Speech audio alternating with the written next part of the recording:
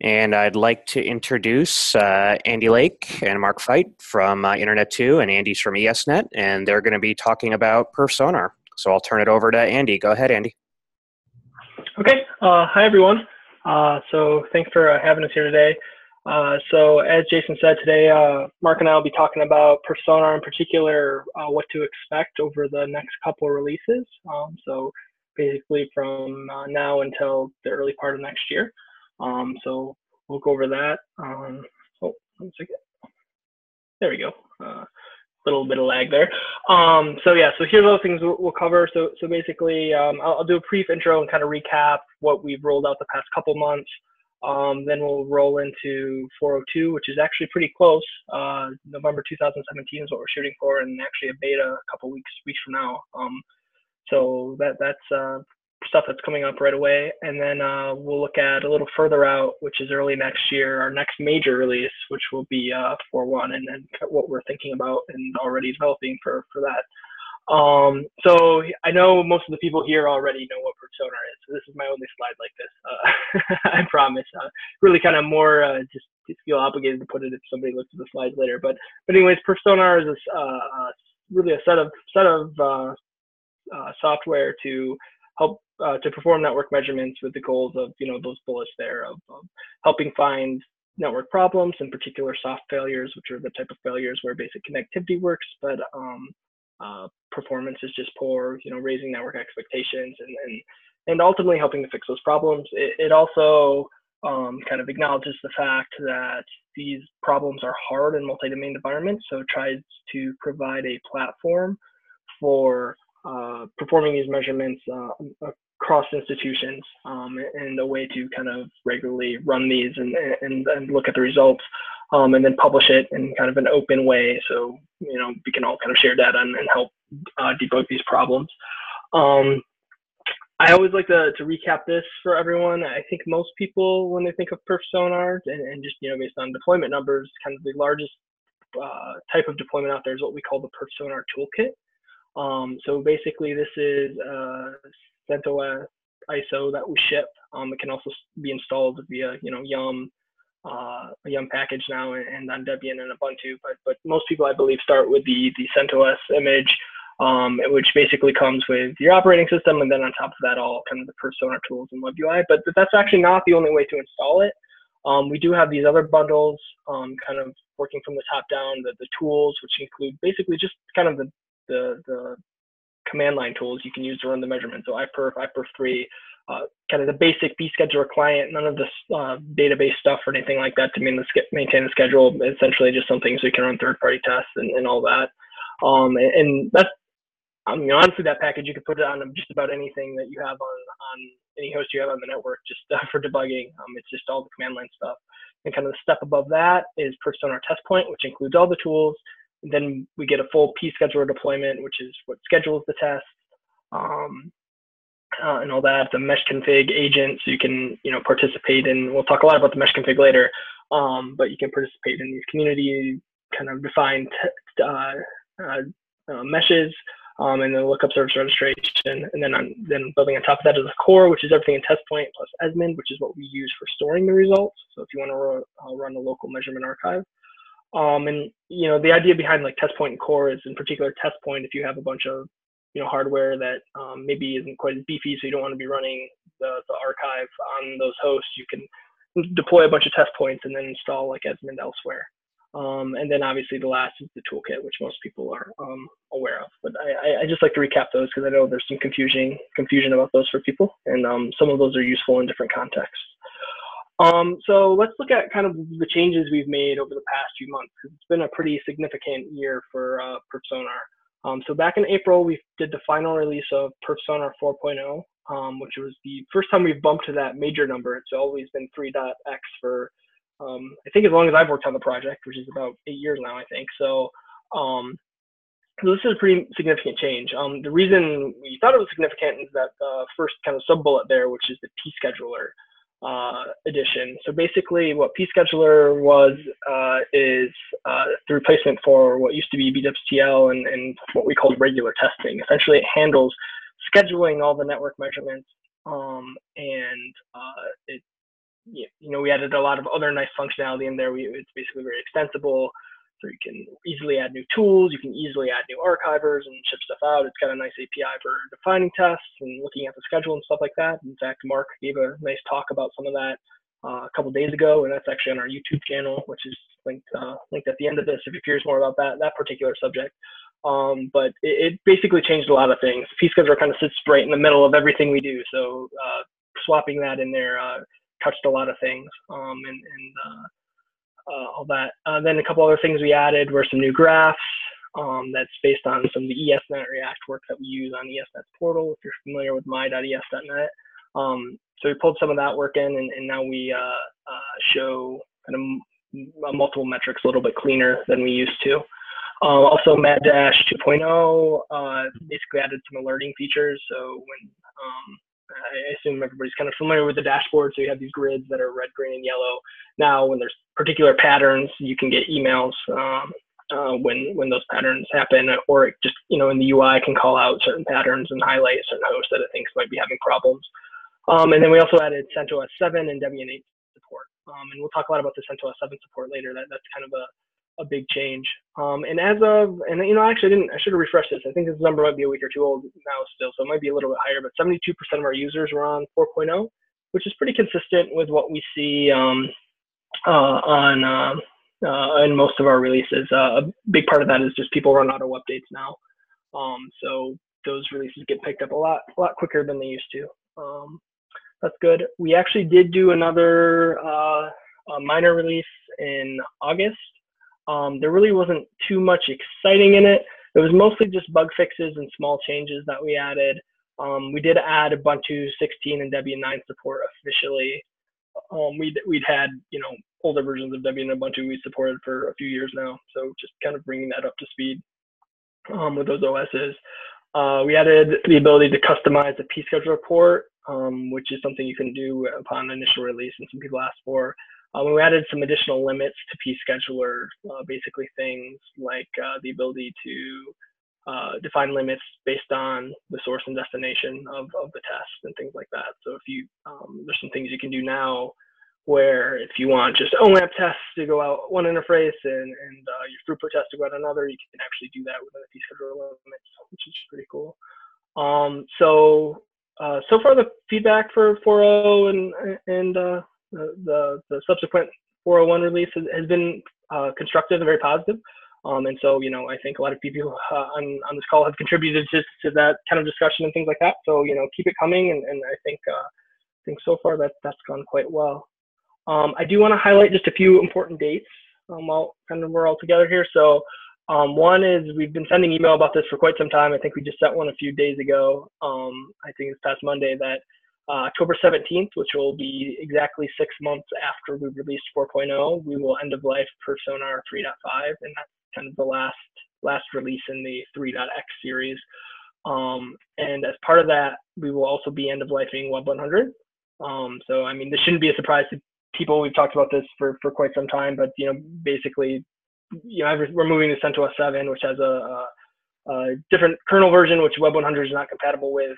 Um, and so, so we're dropping that. And as part of dropping that, that also means that NDT on perfSONAR boxes will not be supported. That doesn't mean NDT goes away. Um, people like MLab are still using it and supporting it. Just we're not going to be including it by default in the toolkit. And in fact, we didn't in this past 4.0 release, so it wasn't included by default. Um, so, uh, so that that's kind of the most imminent thing. Um, as I mentioned earlier, in November we're shooting for the 402 release, which is what we'll be talking about next. What's, what's coming in that. Um, we'll actually do a beta. This isn't on here probably in about in a couple weeks. So sometime in October, we'll probably do a beta. So you'll get your first look at that and then do the final sometime in November. Um, and then Q1 of next year, um, you notice these dates kind of get more vague the further out we go to give us more wiggle room. Uh, in, in the first quarter of next year, we'll be doing perfSONAR 4.1, which is our next major release. Um, this is going to be an important one because we're not going to be releasing CentOS 6 packages uh, as of this time. Um, so that means that uh, you know we'd really like people to upgrade to CentOS 7 between now and then. Um, so so you're ready for that. Um, and then that means six months after we do 4.1, which you know we don't know the exact date yet, but you know sometime early next year. Six months after that, which would be mid next year, so Q3 2018, we will end of life, you know, perfSONAR 4.0 just to be consistent with what else we've done, which also means that we'll no longer be supporting CentOS 6 versions of Perf Sonar.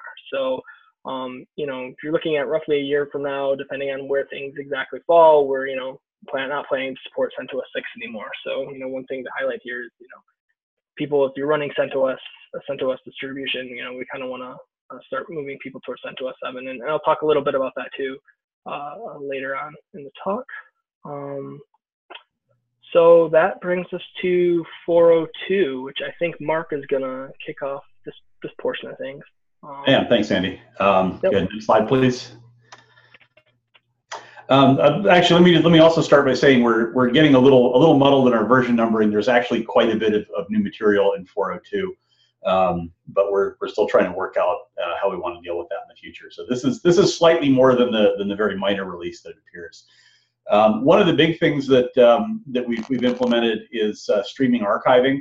Um, what we noticed when we first rolled 4.0 out um, was that on, on systems doing a lot of volume, there was quite a bit of CPU utilization and that was caused mostly by the fact that the, the way the, uh, the archiver plugins were designed was that every time there was a, a, a measurement to, uh, to be archived, that we would start a pro- we'd start a program up to do it kind of one shot, let it do its business, terminate, and then lather, rinse, repeat.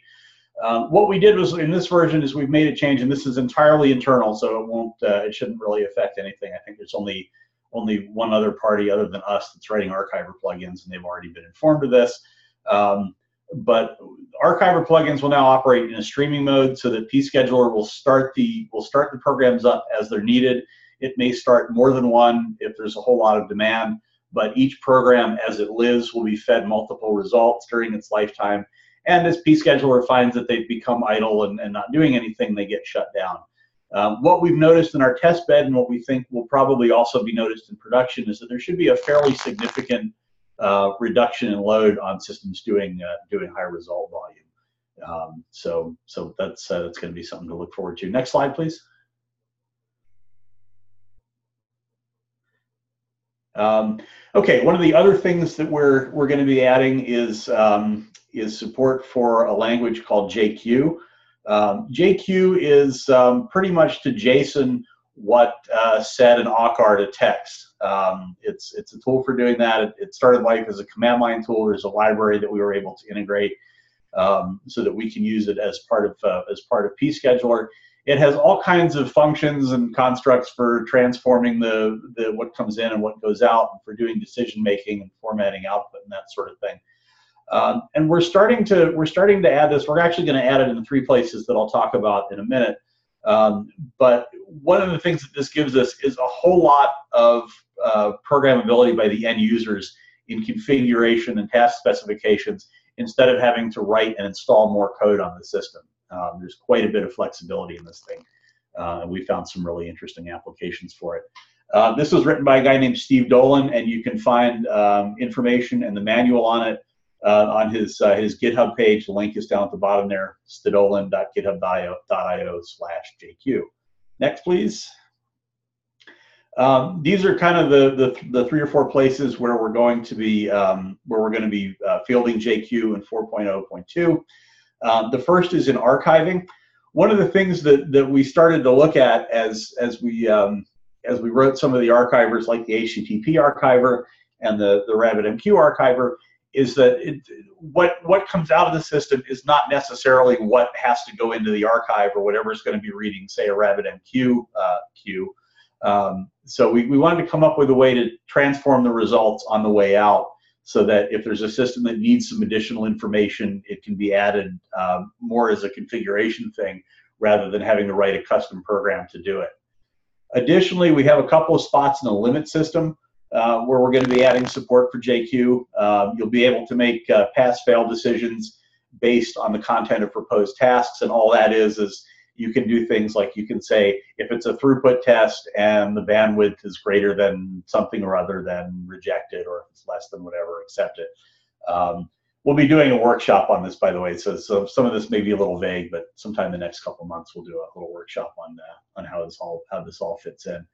Additionally, the limit system has a facility in it for downloading lists of CIDR blocks to use to identify um, to identify requesters. Um, and one of the things that you'll be able to do is is modify that on the fly so that if you have something, for example, uh, Amazon Web Services is sort of famous for this. They have a they have a, a JSON list that you can download that lists all of their uh, IPv4 and IPv6 prefixes. And what you'd be able to do is you'd be able to put a little piece of script in the configuration for that that says when you download it, push it through this this little piece of script, and what you get out of it, um, if you do the script properly, would just be the, the correct format that that the uh, that the identifier expects, which is just a, a, um, a list of, of CIDR blocks separated by new lines.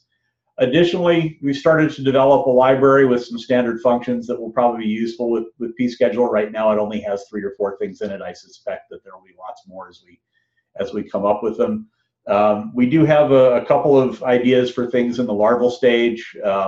One of the things that we might we might do, and again, this is just under consideration, but we would like to hear your feedback if this would be useful. Um, Apache has a really nice uh, really nice facility in it for rewriting URLs, and we were thinking about putting something in uh, for rewriting uh, tasks as they come in based on on your decision making. So, for example, you might want to say, um, you know, if a task comes in and the bandwidth is eight gigabits, and you really want to limit it to five um, you could do that, or you could, uh, for certain types of tests, you could do specific interfaces, that sort of thing. So more to come on that front. Next slide, please. Additionally, uh, we've had some new development from the University of Michigan, which has uh, joined the uh, joined the project this year. Uh, they have quite a bit of infrastructure where they use SNMP to monitor things. Um, one of the things that they're really interested in being able to do is to pull certain counters off of some of their network equipment during throughput tests. Um, so they've developed a set of plugins for collecting SNMP data uh, using sort of your bog standard, industry standard um, uh, SNMP tools. And what the the other thing that they'd like to be able to do, they have a single pane of glass system, and their preferred format for input for that is SNMP traps. So in addition to uh, writing tools for collecting SNMP data, they've also uh, written an archiver that can take a result and convert it into a trap and then be sent to whatever destination you want. Um, so just to kind of sum up, uh, we the, they've added three new tests. These are these are getting polished as we speak. Um, they should be out. Um, they should be out with the with the beta in a few weeks, and we may have to polish them up a little bit more before final release. Um, but you'll have a new test called SNMP Get, which is just a way to fetch uh, a group of SNMP values. We have another one called Get BGM that runs multiple tests in the backgrounds and can monitor for deltas. Uh, we've built a third one called SNMP Set, which is actually a reach out and touch something type test. That was, um, I think Michigan wanted that because they wanted to be able to reset certain counters and things like that in the process of it. And uh, they just decided that pscheduler was sort of a useful way to do that. Um, we have some new tools to back that up. Uh, one based on couple based on the net SNMP package, one based on a Python package called PySNMP, um, and the SNMP trap archiver, of course, which generates traps from result data. Next slide, please. Um, the other thing that, that we're adding in 4.2 is a thing called contexts, and this is this is actually a very uh, this is actually to satisfy a very narrow use case uh, that came out of uh, one of the partners. They have a, a multi-domain VPN product that they want to be able to do testing on. And they have machines that have multiple Linux network namespaces that are all sort of wired into each of the domains. Uh, and they wanted what they wanted to be able to do instead of having to run one host on each uh, on each of the, the, the domains, they just wanted a way to say, okay, if we're going to do a we're going to do a measurement here, we want to be able to switch to whatever namespace uh, is appropriate for the domain that we're or for the uh, for the VPN that we're going to be testing. So there's currently just one plugin that does this. It just changes namespaces before the um, before the before the the, uh, the measurement is run. Um, and if we come up with others, I, I, actually sort of racked my brains a little bit trying to find another application and, and couldn't. Um, so this this may be the one plugin that we have for that for quite a while. But it is done with the plugin mechanism. So as we come up with other things, then we'll be able to um, we'll be able to, to integrate those. Next slide, please. Um, as usual, there's sort of a, a raft of, of, smaller things. Uh, we have we've added some tools for troubleshooting limit configuration files because they are sort of complex and it's much easier to uh, be able to kind of validate and, and test those out without having to put it into the system, restart the system, and, and, and do trial and error with it. We've added some additional ways to search for uh, tasks in the REST API. This was driven mostly by increasing the performance of mesh config and some other applications that we may have in the future. Uh, but it does it does open up some more some more options for pulling things out. And as usual, of course, we've done the usual the, the usual raft of, of, minor enhancements and fixes, all of which will be out in the release notes um, when we uh, when we release this version. I think that's it for me, so I will hand it back to Andy. Actually, uh, a few more. You, can jump into four. Ah, yes, that's right. I forgot there was something more. trying to shirk my responsibilities early. Um, so as Andy mentioned, we're looking uh, for we're looking for this spring to to put um, perfSONAR 4.1 out, uh, and we're looking to add a few major features to that. Uh, one is, and again, these are these are planned, and, and some may be shuffled depending on on uh, on what happens in the course of, of development. But um, uh, the first thing we're looking at is um, is the concept of resource management, and this is really mostly to solve the problem of having uh, pools of ports. As things as things stand now, we sort of say, you know, this test uses this port or this range of ports, and it just becomes really difficult for people with firewalls to keep up. So what we'll be doing is developing uh, something where we have pools of TCP and UDP ports that each of the uh, each of the tests can draw from at runtime, so that um, you can essentially when you once you've configured what the pool what, the pool is going to be like what the port range will be, you configure your firewall once and everything will stay within those confines. Something else that uh, there's been some interest in is is uh, something that we've dubbed uh, remotely supervised runs with local archiving. Uh, there were a couple of users that have had sort of a difficult problem in that the places where they are actually doing the testing can't reach their archivers. Um, so we're looking at, at, coming up with a way for uh, for you to submit a task to a to a machine and say, here's here it is, but you need to submit it over here as well and let it run and collect the results when it comes back and then do the archiving locally. Um, it's I guess in some ways it's sort of a, a firewall bypasser um, within, uh, you know, I guess within certain limits. Um, additionally, we're looking at um, some ways to do, some better ways to do run control. Right now, the way things are set up, you can basically cancel a task and that will cancel any future runs of it. Um, we are looking to be able to do things like stop a run midstream and, and preempt uh, runs that are pending so that, for example, if somebody on the local machine is, is running some CLI stuff and they don't want to wait around for whatever else happens to be in the queue, uh, we'll have a way to do that. Next slide, please.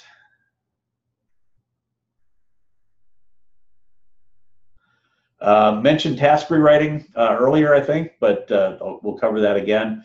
Um, that's just really so we can make on-the-fly changes to tasks as they're tasks as they're ingested, uh, and this will let us do some things that we can't do with the limit system. Uh, additionally, there's going to be a whole bunch more new plugins, maybe not a whole bunch, but we're, we're looking at starting development on one to do network traffic capture, which will probably be backed up by Wireshark. Um, we have a couple of little logistical things we have to figure out in order to make that work. Uh, additionally, we're also going to be uh, delving a little more into application monitoring, which is not something we've looked at previously, but uh, there are there are users that are interested in this, and, and fortunately, because of the way uh, the way pscheduler is structured, it makes it real easy to write new plugins to to to, to monitor these things.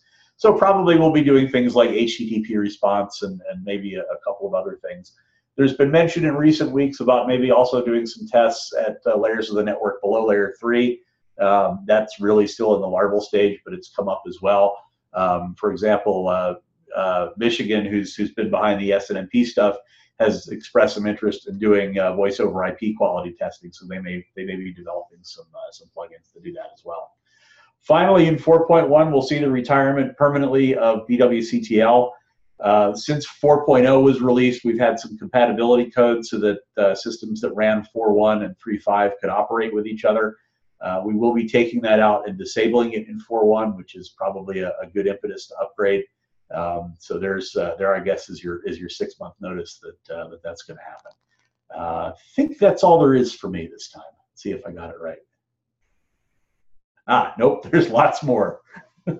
Need to look at these a little, little more closely. Uh, there's also been some development for a measurement protocol called TWAMP, which stands for the Two-Way Active Measurement Protocol. Um, it's very similar to OWAMP in a lot of ways. Um, one of the things that it does differently is it doesn't combine one way and round trip time measurement uh, simultaneously. Um, the, its round trip time measurements are a lot more robust when it comes to uh, variations in uh, timekeeping. Um, much like OWAMP, this runs as a, as a daemon. There's a TWAMPD that, that accepts and, and helps out with measurement requests. Um, there's a, there'll be a program called TWPing to do measurements from the CLI, uh, from the command line. Um, and probably we'll come up with something that does uh, that, that, does the same thing as PowStream does that produces uh, streaming measurements. One of the things that made TWAMP attractive is that it is very widely implemented on routers and switches, and that means that those devices can act as TWAMP servers, and that gives you a whole lot more targets for measurements. Next slide, please. Oops. Sorry about that. Must have clicked the wrong thing here. Uh, let me reshare. Oh well. Sorry about that. Okay. They can edit this out when we're done, right? yeah, right. We were hoping to avoid this, but not switching, right? That's right. All right. Let's try this again. Sorry about that. All right. And today I just don't know where my presentation ends, which doesn't help either. You're almost done. Okay. Yep. There we go. Um, so, yeah, so, so to carry on from where we were, uh, we will be writing uh, tests and tools to go with this. Actually, the tests are already there. We already have a round trip time test and a latency test, so we'll be um, we'll be uh, we'll be developing tools that, uh, that that implement TWAMP, and what comes out of them will look pretty much the same as uh, as everything else. Um, so we'll be able to produce, as I said, two different metrics, latency and RTT with this. Um, and it'll be shown in the perf sonar graphs just as everything else does. You won't actually be able to tell the difference. Um, we have had some, some external contributors who, I don't know, I guess maybe want to remain anonymous, um, but that work has been, has been made possible thanks to them. Next. Okay, and you are officially done now. So Here's where I'm okay, so uh, the next one, uh, the next thing that we're looking at for 4.1 is uh, Docker support. So if you're on our perfSONAR user list, this has been a very popular topic uh, the past few months. um, it seems like about once a week we get some type of question uh, on trying to get perfSONAR going in some type of container, uh, Docker or otherwise. Um, so we actually have some Dockers that are kind of just labeled as beta that are in uh, Docker Hub. Uh, there's a link to it uh, in, in the slides right here that you can pull down. It's um, so I talked about the bundles earlier. So there's the tools bundle and the test point bundle that we have um, in, in Docker Hub. Um, that seem to work pretty well. There's some weird caveats, like this is just a Docker thing, not even a perfSONAR thing. Like ping doesn't work because it just, you know, Docker does some weird stuff with ICMP. Um, but uh, uh, it looks it looks pretty promising. Um, you know, getting a Docker image is not a particularly difficult thing to do. Um, so, you know, the reason we're dragging our feet on this is not really necessarily the execution of creating the Docker images. It's, you know, basically deciding how we want to package these things.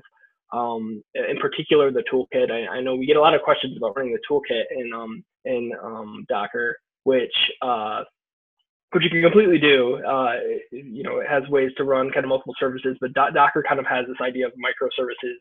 So how we, you know, divvy up things like the web interface and admin and, you know, Postgres and all those databases we run, we're, we're still kind of trying to figure out the best way for doing that and keeping everything up to date and, and, and all that good stuff. So it's kind of really more uh, just figuring out the organization of the services as opposed to actually building the images. But but um, if you are interested in building your own images or, or using what we have there, we do have um, um, that stuff on Docker Hub, but you can either use as a starting point or you know just run directly. Um, you can actually run it like on your Mac, which is kind of cool, um, and you know do all your piece pScheduler stuff, and, and it's kind of neat. So. Um, so that that's something we're definitely looking at and kind of you know cleaning up uh, and finalizing. Um, and then uh, the next big thing that I want to get into, and this is really what I'm going to spend the, most of the rest of the presentation on and kind of go into depth. So, so the big feature for 4.1 is um, kind of like in 4.0, we kind of overhauled the scheduling aspect of things and, and introduced pScheduler. Um, we, we want to overhaul essentially the mesh config side of things, um, and we're actually going to rename it PS config. Um, and so I, I, think probably, like I said earlier, a lot of you are probably familiar with the mesh config. Um, so basically, it allows you to publish this central file that defines all your tests, and then uh, all the hosts participating in the test can point at it, you know, download it. They'll, they'll automatically build their tests, and then likewise, if you have a dashboard, um, you know, running MaDDash, uh, we have a little agent that can download that file and build the, the dashboard for you, right? And um, you know, the introduction of this a few years ago, I don't even remember, maybe it was five years ago now or something like that. Um, uh, was uh, uh, you know a pretty important milestone, I think, for perfSONAR. I, I, think a lot of the communities now are kind of built around these meshes, um, and it's done a lot of, of really good stuff. Um, but you know, over the course of those years since we've introduced it, a lot of stuff has changed underneath the hood with perfSONAR. Um, particular, pScheduler. I'm not even sure we had MaDDash when the mesh config first came out. They were probably roughly the same time. Um, but anyways, we've kind of gotten to a point. If you if you mess around with the mesh config files, you'll notice you know there's a lot of kind of legacy terms in there and and things like that. And you know we're kind of limited. We've got all this great extensibility on the pScheduler side. We've got some good extensibility on the MaDDash side, and a lot of it's kind of masked by the mesh config. So so we kind of want to revisit that and um, um, you know see if we can make that experience even better and kind of bring the mesh config up to up to date with all the other stuff. Um, I do want to talk briefly about how kind of people are using mesh config today, just because I know um, some of this has been a topic at, at just a few talks, you know, the, the past few months. Um, so right now, kind of who uses mesh config. So generally, you know, if you have just a couple hosts, you don't necessarily need mesh config. You could use it for that, but it's really kind of shines and kind of have medium to large size deployments. So that could be internal deployments. So on ESnet, you know, we have about 50 measurement hosts. Um, it used to actually be about 80 because we separated the, the latency measurements and throughput measurements, but we've combined those into one host with multiple interfaces in the past few years. So we've got about 50 of them. Um, you know, so we obviously, uh, you know, when I first started ESnet a few years ago and we were running these perfSONAR tests, I'd actually have to like log into the host and um, I don't even remember the name of the config file back then, but there, there was a config file basically where you'd find all your tests and um, I, I remember uh, you know, it was really hard to tell why stuff was broken and stuff would get out of sync. Like one host would have different set of test parameters than the other, right? So, so the mesh config kind of made all that much, much easier. Um, likewise, what's been really cool um, with the mesh config is there's a lot of communities out there, which I'm sure well, pretty much probably all of you are part, part of one in some shape or the other that have kind of, you know, multiple institutions have kind of come together and built these meshes and, you know, point their hosts at it and kind of build these dashboards and, and gather around it, which is, which has been a really positive development.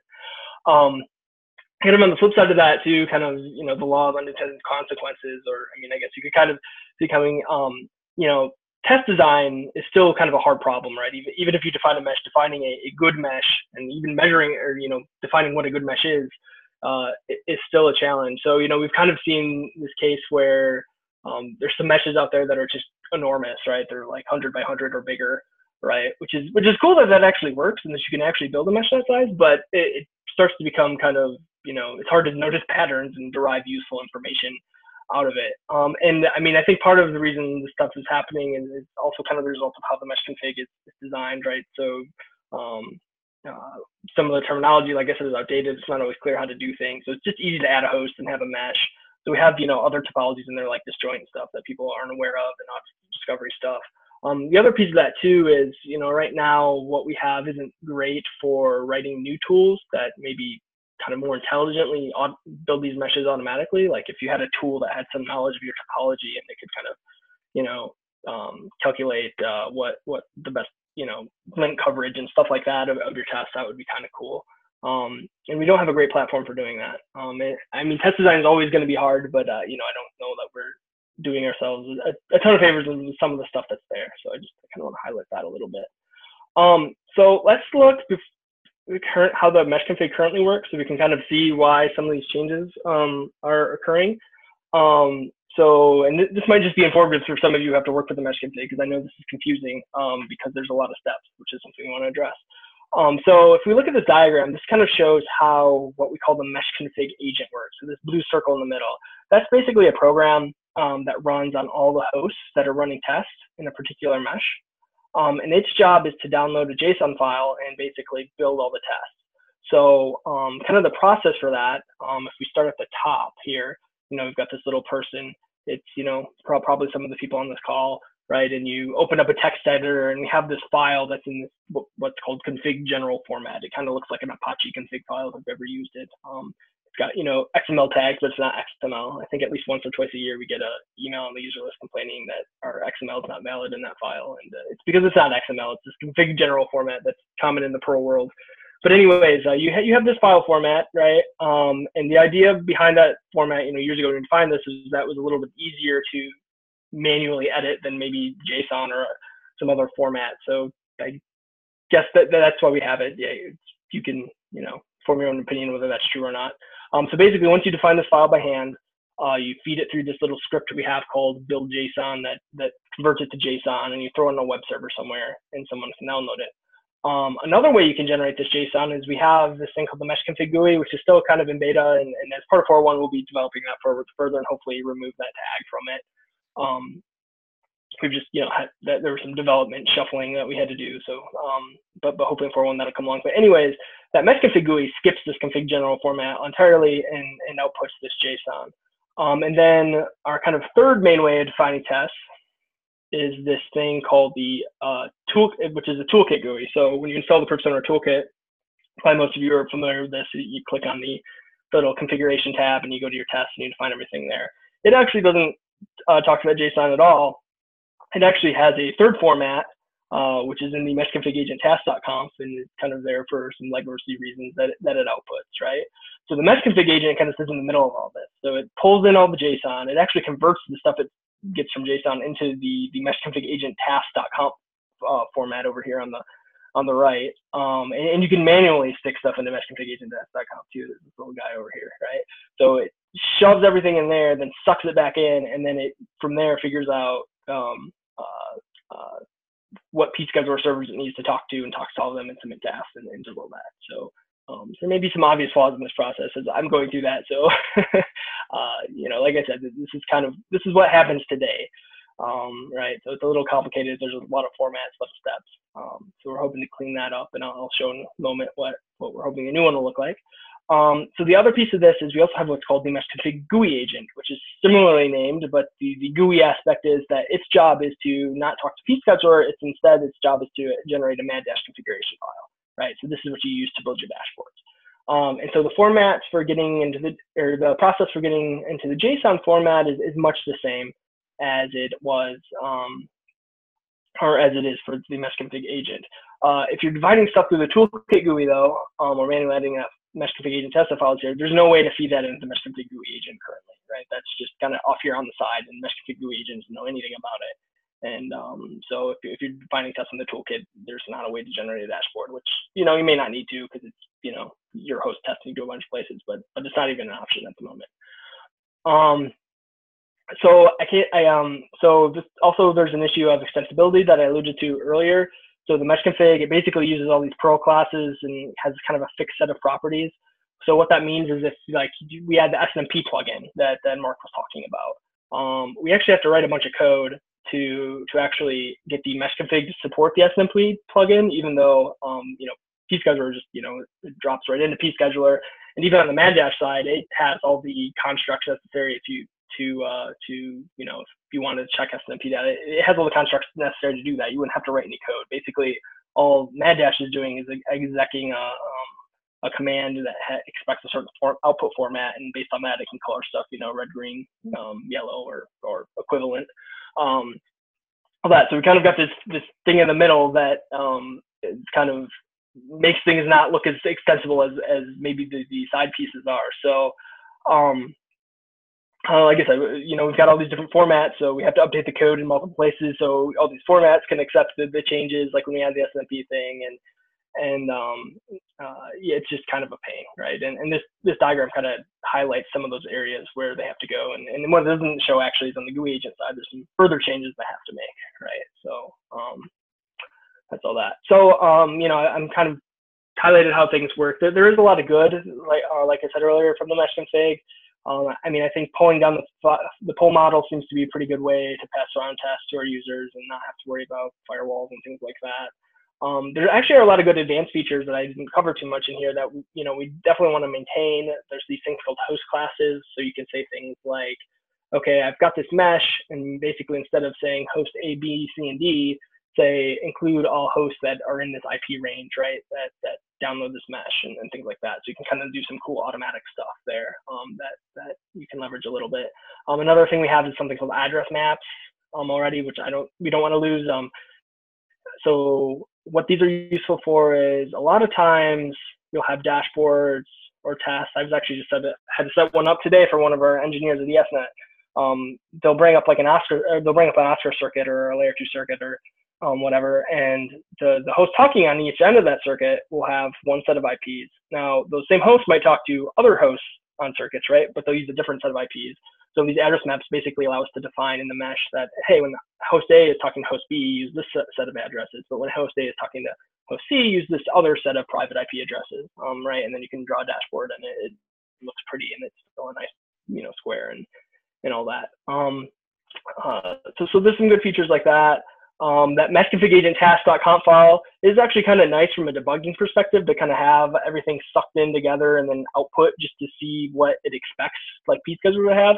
Um, I don't know how useful it is necessarily from a configuration aspect, but it is useful from a debugging aspect, um, just to see what, what it thinks should be uh, in pScheduler, if, if you understand that format at the very least.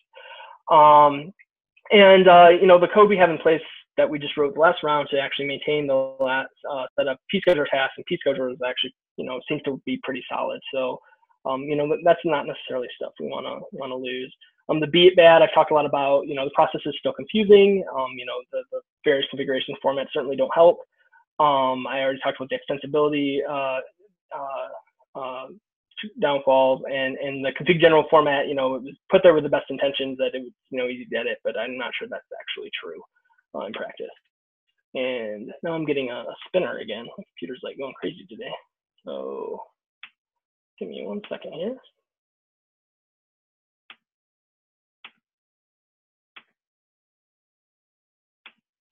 Uh, so sorry about that. Let me, I have to restart PowerPoint here. uh,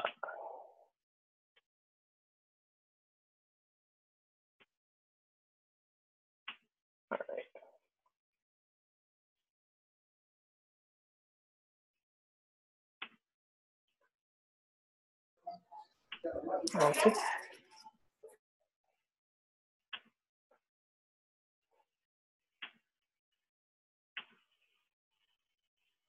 All right, let's try this one more time. Um, uh-oh.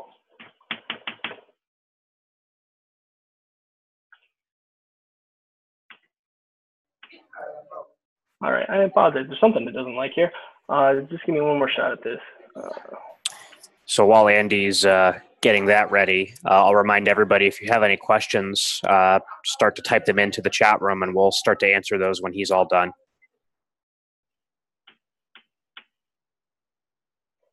Okay.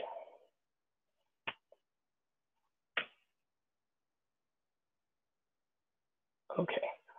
All right. So yep, and I'm, I'm wrapping up here too, so we can do some questions. Um, all right, so I think I did the good and the bad of the mesh config. So the ugly is is um, a bunch of the references to perf buoy and legacy stuff that's in the syntax. So, um, so okay, so given all that, right, we think it's time for a refresh uh, of the mesh config, like we've done the other components. We're calling it pSConfig, like we talked about.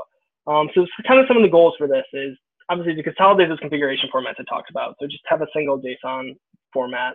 Um, increase the extensibility, right? So we have all this good code in pScheduler and it has the ability to ask it if stuff is valid and things like that. There's no need to kind of reinvent the wheel there. You know, we, we can leverage a lot of that work. So, you know, we can we can more easily drop in new things like when someone has a new SNMP plugin or, or whatever. We don't necessarily need to go and chase the mesh config. It'll just be able to support that as soon as pScheduler supports it.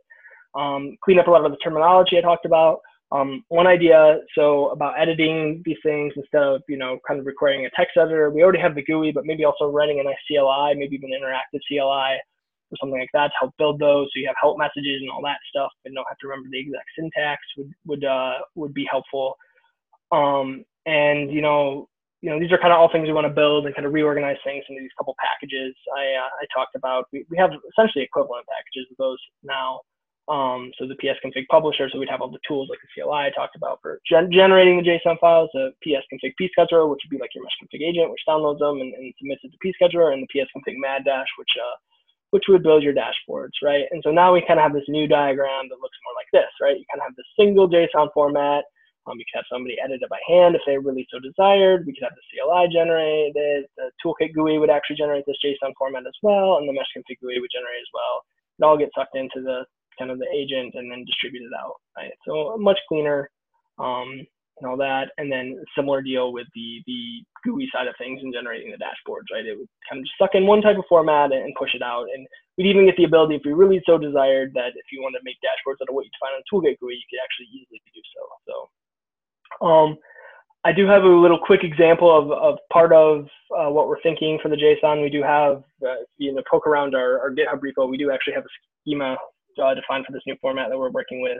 Obviously, things are subject to change, but um, uh, you'll see, I know it's hard to read, and that's kind of partially the point too, is on the left side here, we kind of have the old format, right? Where if you, all you're doing is defining it, essentially it's a single uh, uh, measurement archive where you want measurements to go. And currently you have to do that essentially four times, um, one for each of our main data types that, that are supported in mesh config. So trace route, the throughput stuff, uh, the, the OWAMP stuff, and, and the ping stuff and you have to specify the URL twice. It's read URL and write URL, which in I think every case now with Esmond, um, uh, it's uh, basically always the same. Um, and so you know, there's things we can do to consolidate that, right? Where um, now we have this definition where we'll have a list of archives. You kind of give it some label just so you know what it is specify what type it is, it's an Esmond type, and then you'll specify the URL once, and, and, and you're done. And you can reference that anywhere that needs to write to that. Um, and it doesn't really matter what the data type is. Um, and, and, the other idea is this blob with the archiver Esmond and data part. That, that's exactly what it looks like in pScheduler JSON world. So you can feed that to, to pScheduler and it can tell you if it's valid or not, right? So if you write a new type of archiver, like an SNMP trap archiver we're talking about, we don't have to add anything to to the, the pSConfig code that it could just get some into pScheduler and it could you know give the thumbs up or thumbs down if that's allowed.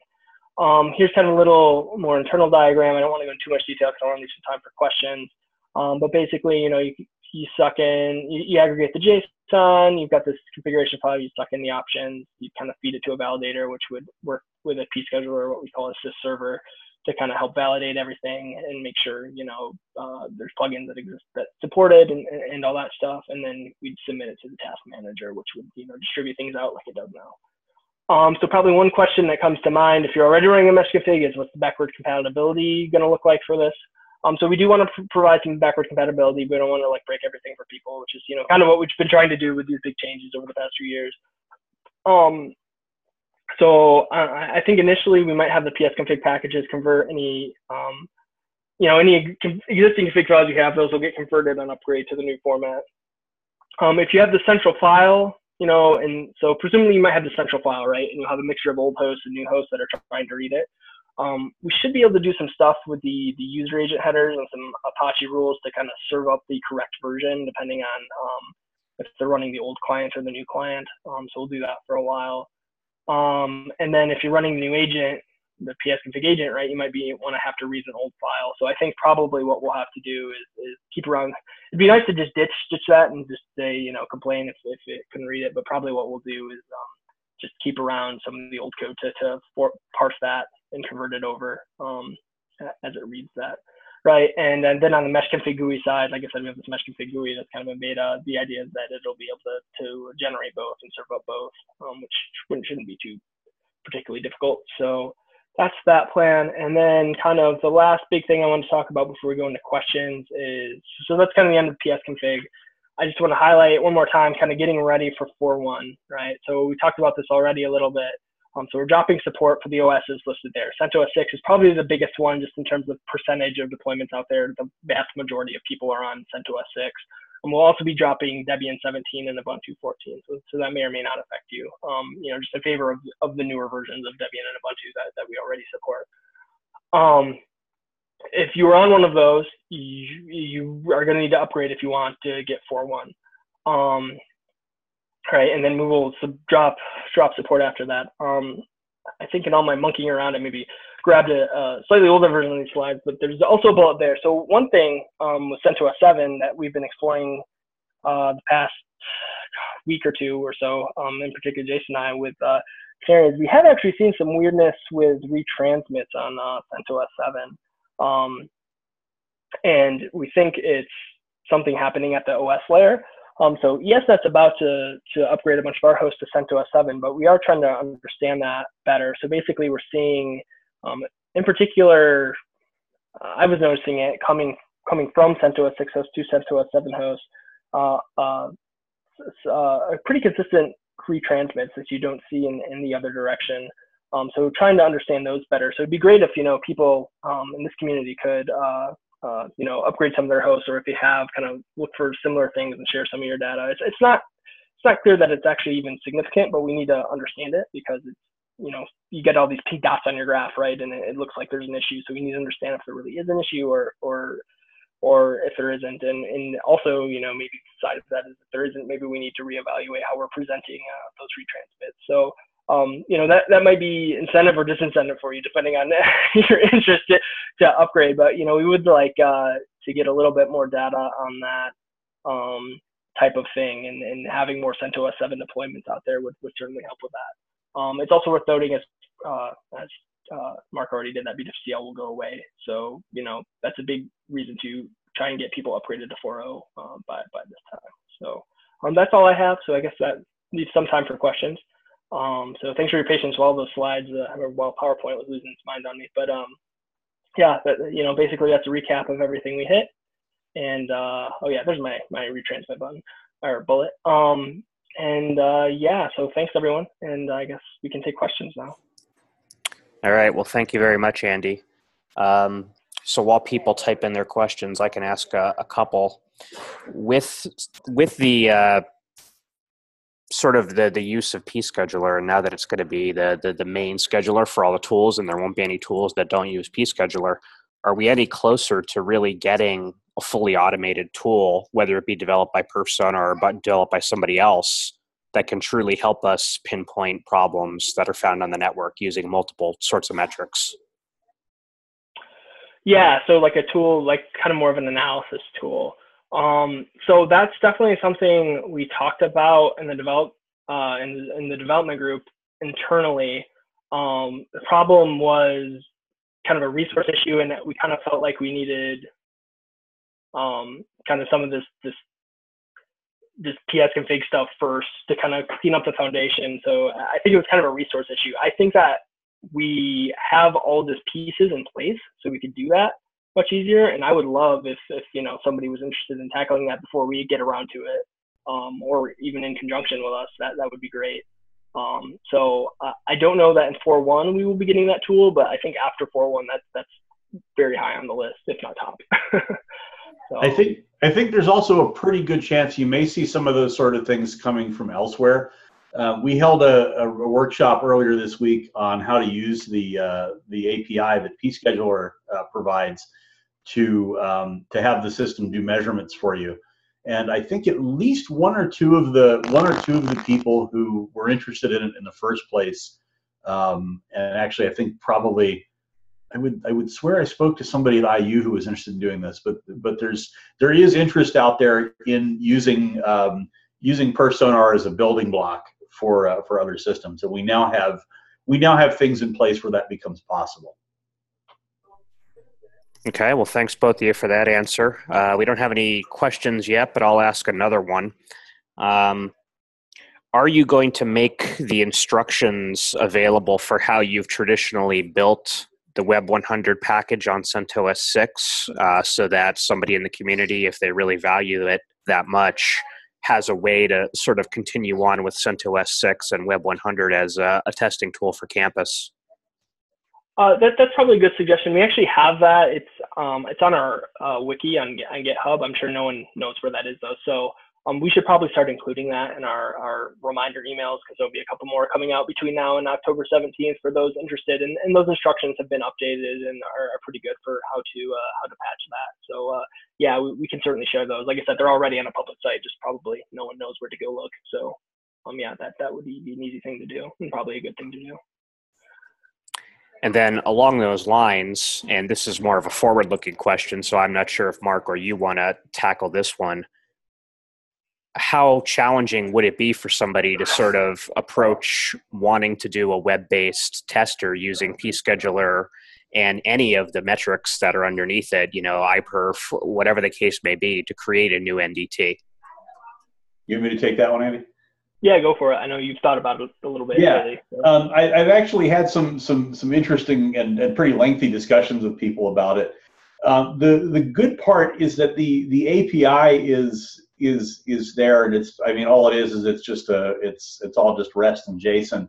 So theoretically, there's there's nothing stopping us from developing some specific tests and tools for servicing things that are running in a web browser, and we would just have to develop something where you know, the, we'd have to have some piece of, of, uh, of JavaScript or something in the web browser that contacts, it, it, it, it does pretty much what any other P pScheduler client would do. It would have to contact the server, say, I want to do this test, get approval to do it, um, get a, a, time scheduled, and then when the time comes up, it would have to do its upload or download test, um, you know, whatever we're going to do. So there's there's nothing that architecturally forbids it, um, and we don't need Web 100 to do that sort of thing um, it's it's one of those things. I know there.